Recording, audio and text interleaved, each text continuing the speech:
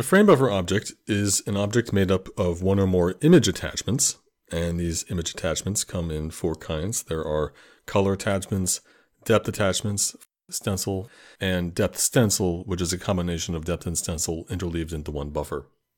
Per pixel, that's generally 24 bits of depth, followed by 8 bits for stencil. These image attachments come in two kinds. They are either textures or render buffer objects. Unlike textures, render buffers have no mipmaps, they have no layers or tiling, they don't have texture parameters, and they cannot be sampled, and so you cannot read from them from your shaders. A render buffer very simply just stores the pixels one after the other in the most straightforward way possible, making them optimal for cases where you just want to read and write a bunch of pixels en masse. But this simple layout makes them inefficient for sampling, and so you're not allowed to sample from them. Now, the so-called default frame buffer object is created for us, and this has four color attachments, what's called front left, front right, back left, and back right. And assuming we're doing non-stereoscopic but double buffered rendering, then it's the front left, which is currently displayed on screen. Meanwhile, we render into back left, and when we're done rendering, then we swap the two buffers. If we're doing stereoscopic rendering, such as for VR, then we would use left for left eye and right for the right eye. Either way, this default frame buffer is generally configured to have a depth and stencil attachment, and this is not actually automatic, but it's something that's done for us by GLFW. So in practice, we're not going to have to set it up ourselves. So far in our examples, we've just been using the default frame buffer, but it's possible to create and use other frame buffers. The default frame buffer is always what ends up on screen, but we might sometimes want to render into so-called off-screen frame buffers for various purposes, such as applying post-processing effects or doing things like deferred rendering, which is something we'll describe in a much later video. In example 5.1 frame buffers, we're not rendering anything new before, it's just a quad for the floor here and then these two boxes. But what's not evident on screen here is that we're actually first rendering into an off-screen frame buffer, a separate frame buffer that we explicitly have created, and then we're using the color attachment of that frame buffer as a texture to render the image out into the default frame buffer. For the default frame buffer, we're just setting up a simple quad that encompasses our whole view, rendering this other texture onto the quad, which has the effect then of copying the contents from the off-screen frame buffer's color attachment into the default frame buffer's color attachment. Surely you would think there's a more direct way to copy data from one frame buffer to another, and in fact, actually there are, Yet, uh, depending upon your OpenGL driver and, and your system, it tends to be the case that this is the most efficient way to do it.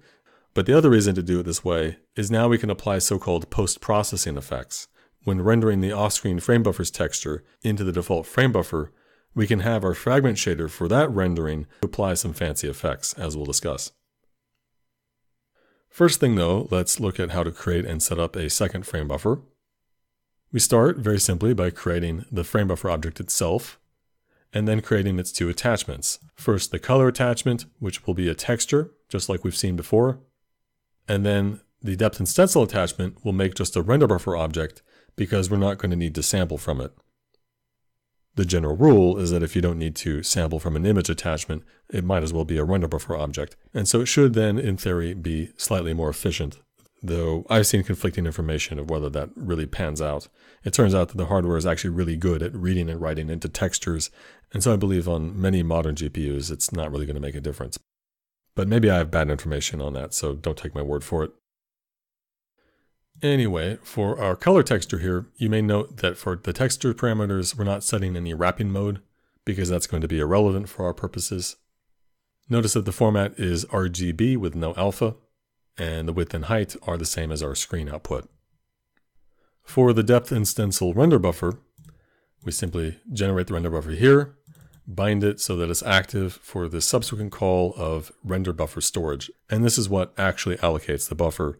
So we specify its format, 24 bits of depth, 8 bits of stencil, and its dimensions.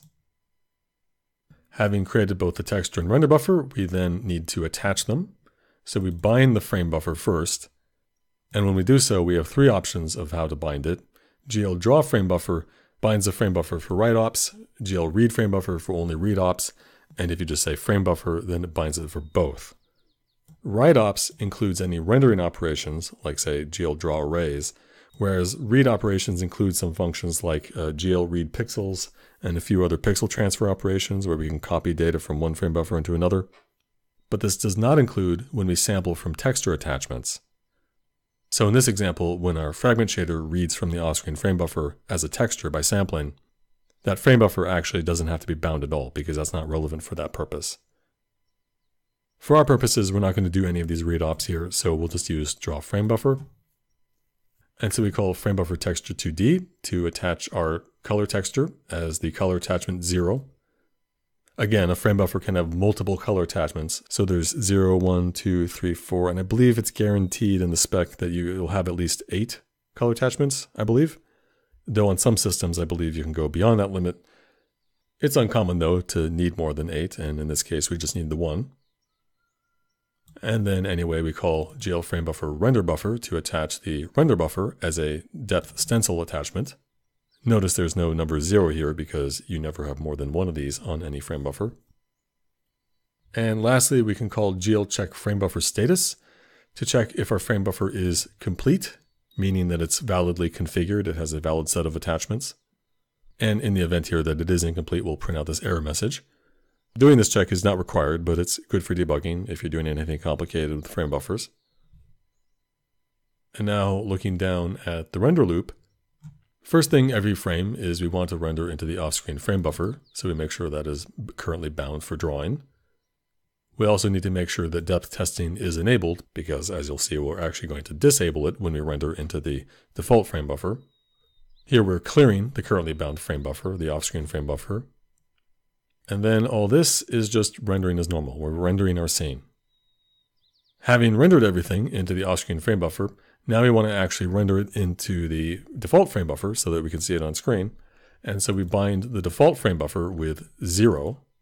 The integer ID for the default frame buffer is always zero. We disable depth testing. We clear, in this case, only the color buffer. We don't care about the depth buffer because we're not using the depth buffer of the default frame buffer, so no need to clear it. And then we'll do our rendering, this time using a different shader program than what we used to actually render into the off-screen frame buffer and we'll look at those shaders in a second. Our geometry is defined by this quad uh, vertex array object, which is just a single quad, as we'll look at in a moment. We then bind the texture color buffer, like we do for any texture. And then we draw our quad, which actually is made up of two triangles. So properly, I shouldn't call it a quad, but it's a rectangle. So before looking at the fragment shaders very quickly, what does a quad VAO look like? It's uh, the quad vertices here, is two triangles whose vertices are defined in terms of clip space with no z. There's only two dimensions here because we're actually just doing two-dimensional rendering here. And then we have the corresponding texture coordinates. So there are two vertex attribs for the uh, quad VAO. Looking at the shaders for our off-screen rendering, the vertex shader is nothing we haven't seen before for just very ordinary flat lit rendering of textures, and same with a fragment shader, just rendering out the texture color for the pixel. And then for our screen vertex shader, the one used to render out to the default frame buffer, in this case, we're not dealing with any transforms because our vertices are already in terms of clip space like we want, but they are vec2s rather than vec3s, so we're filling in for z here, the value of 0. As for our screen fragment shader, it's exactly the same as our other fragment shader. We're just simply rendering out the texture onto the quad. What if, however, we don't simply render the texture verbatim, but apply some kind of effect. Well, that's what we call post-processing. After rendering out our scene as normal, we're then manipulating the color values before they reach the screen. Probably the very simplest post-processing effect is to simply invert all the colors, which we can do here by simply uh, taking the vec4 returned by this texture call and subtracting it from 1. This takes the RGB and A value returned by this texture call and subtracts them all from 1, and that is the vec4 being assigned to frag color. So it's effectively inverting all the colors. So here we'll save and uh, rebuild. And if I run it, all the colors have been inverted, which is not terribly interesting in this case because our original scene is all grayscale, but you can see that everything's inverted. Note that means that all the alpha values are zero, but uh, that doesn't matter for the output uh, color buffer for something slightly more complicated, we can make the output grayscale. In this case, our preprocessed image is already grayscale, but let's pretend it weren't. Anyway, if you want to get the grayscale equivalent of any color value, you simply take the R, G, and B and average them together and make that average your new R, G, and B values. Now, the symbol technique for grayscale does work, but it's generally not ideal because when it comes to our light perception of colors, we're more sensitive to green, less so for red, and even less so for blue. And so what we want to do is actually a weighted averaging of these different components. And so what we actually want looks more like this. Multiply the red by 0.21, the green by 0.71 because it's the, the strongest component we want for the average, and then blue only by 0.07. So blue is actually contributing quite little to this average, but that's actually what we want because of human perception. Let me actually just demonstrate this here. Rebuild. And we run it. And as far as I can tell, this is exactly the same as it was before, which is good, I suppose, because it was grayscale to begin with, and you wouldn't want your grayscale filter to uh, somehow change the image if it's already grayscale.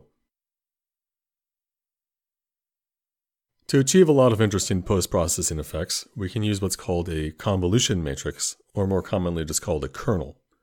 And the idea is that we sample not just from our pixel coordinate, but also from neighboring points to the top left, bottom right, and to the top left, top right, bottom left, and bottom right.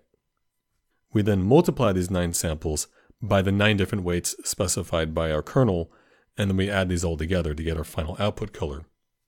So here, for example, we have a kernel that'll get us a sharpen effect, where we take the center pixel itself and multiply it by 9, but then from the neighboring samples, we multiply them all by negative 1, and when all these samples get added together, it has the effect of sharpening our image. And note that these neighboring points are not necessarily just a pixel distance away. They could be, sometimes that's what we want, but we can choose actually just any offset, and the configuration of this offset will effectively modify our effect. So we get different effects not just by changing the weights in the kernel, but also by modifying this offset. In this case, we're using the same offset for vertical and horizontal dimensions, but in some cases you may want to have separate vertical and horizontal offsets. You also probably want to tie the offset to the dimensions of your output image, which in this case we're rendering out to 1920 by 1080. And so if our offset is 1 over 600, then in the horizontal dimension at least, our offset is uh, about 2 pixels away from our center point. And in the vertical dimension, it's approximately 3. So if, say, we wanted to make sure the offset is actually 1 pixel in both the horizontal and vertical dimensions, we'd have to compute two separate offsets using the actual dimensions of our image.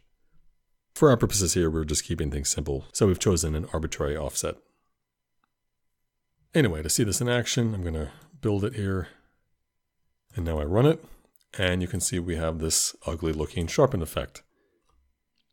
So that's neat, but if you look at the edge of the image, you'll notice something a little funny going on. Uh, what's happening is that by default, our image that we're sampling from, by default it's doing wrapping. And so we're getting this odd effect at the border of our image. Uh, to fix that, we simply need to configure our texture color buffer to use uh, clamp to edge for the texture wrap parameter. So I'll build that, run it again, and now you can see at the edges we've gotten rid of that problem.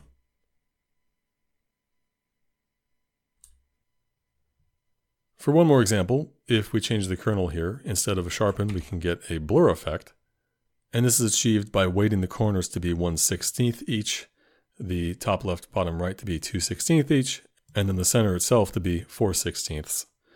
And you may note all these weights add up to 1, which is usually the case for our kernels. Our sharpened kernel also added up to 1. If they didn't add up to 1, if instead they added up to something larger than 1, we would effectively be lightening the pixels if they add up to something less than 1, we would be effectively darkening the pixels. In this case, though, we don't want to darken or lighten the image, so our kernel weights add up to 1. And now I will rebuild, run it again, and now we're getting blurry output.